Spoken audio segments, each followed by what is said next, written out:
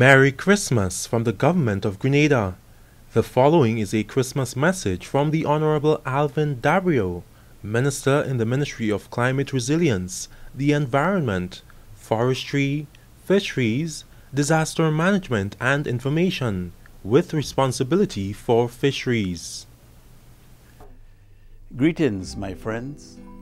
As we approach yet another Christmas season, with excitement and joy, it brings me great pleasure to wish you, the hardworking, courageous, and supportive constituents of St. John and our nation a very Merry Christmas. Christmas, as we know, is a time of giving and peace, showing love but not compromising, sharing and not expecting, and most importantly, reflecting on the birth of our Lord Jesus Christ. As we celebrate Christmas this year, let us be mindful of one of the great truths impressed upon mankind by Jesus Christ, whose birth we are commemorating. Love thy neighbor as thyself. As we give gifts to those we love and care for, let us be always mindful of the poor and dispossessed among us. In the spirit of gift giving and caring for others, be a blessing to someone in need this Christmas. It could be the gift of sharing a meal or a visit to someone who is sick or simply a word of good cheer and encouragement. It is my prayer this Christmas that the examples and teachings of Jesus Christ will bestow love and service to the center of our lives. As we gather together with loved ones and look forward to a new year beginning in 2019.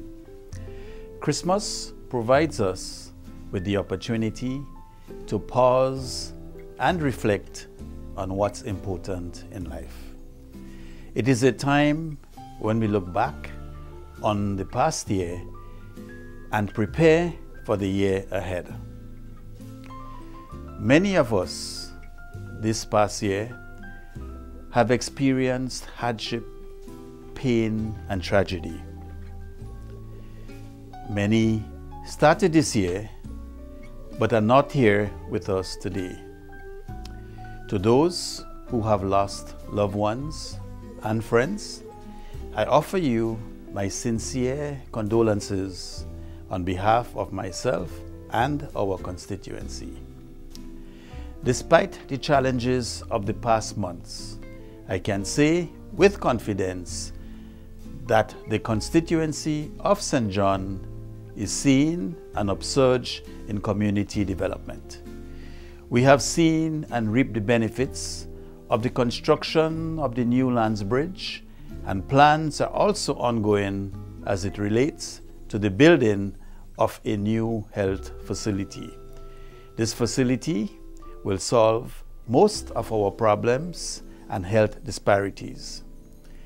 We have also seen a number of infrastructural projects which have created more jobs for our people and will put our parish in a better position socially and economically.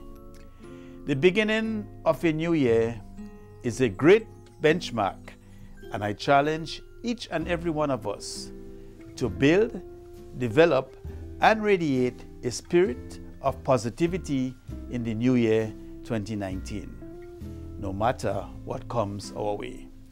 To conclude, let us reflect on the gospel message to us at Christmas that is, a great light has come to the world. Glory to God in the highest, and on earth, peace, goodwill to all men.